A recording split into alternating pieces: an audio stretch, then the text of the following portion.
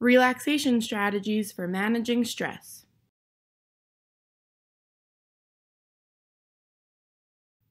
There are four types of relaxation exercises and strategies that we will be talking about in this video. They are breathing exercises, visualization exercises, progressive muscle relaxation, and general coping strategies. Breathing exercises. The first one is box or square breathing. Box breathing, also known as four square breathing, involves exhaling to a count of four, holding your lungs empty for a four count, inhaling at the same pace, and holding air in your lungs for a count of four before exhaling and beginning the pattern anew. Take a look at this picture to help you understand how to do this type of breathing. Blowing bubbles. Focus on taking in a deep, slow breath and exhaling steadily to fill the bubble. Pay close attention to the bubbles as they form, detach, and pop or float away. Breath focus. Sit or lie down in a quiet, comfortable location. Notice how it feels when you inhale and exhale normally. Take a slow, deep breath through your nose.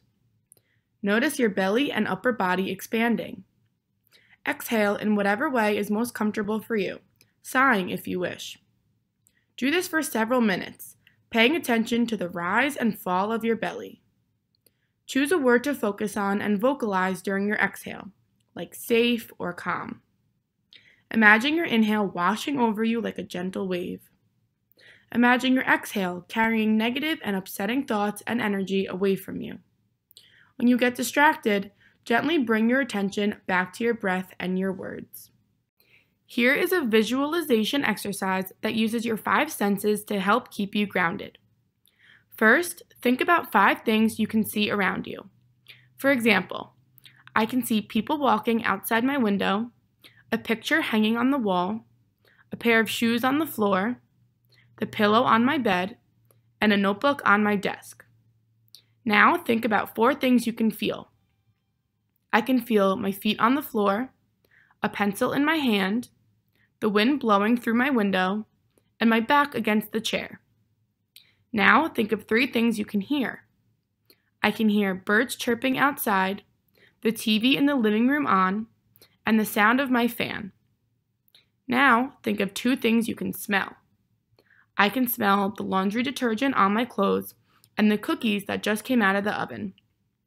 Now, think of one thing you can taste. I can taste the minty toothpaste from brushing my teeth this morning. Ball of yarn technique. Picture a small ball of yarn holding all of that residual tension from the day. Find the tip of the yarn and imagine it slowly unrolling. The strand gets longer and longer and you can actually feel your tension unwinding. When the yarn is completely loose, you can relax and enjoy the night. Progressive muscle relaxation. Use the classic squeeze and release relaxation technique, beginning with your toes and working all the way up to your face.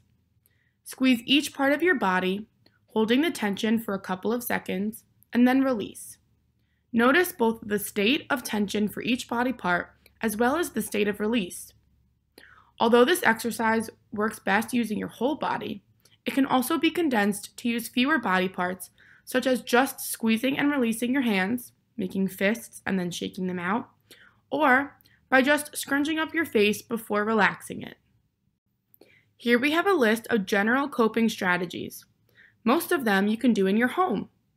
Some of them are read a book or magazine, journal or write a letter, cook or bake, make art, do something kind, and rest, nap, or take a break. There are even more on the next slide.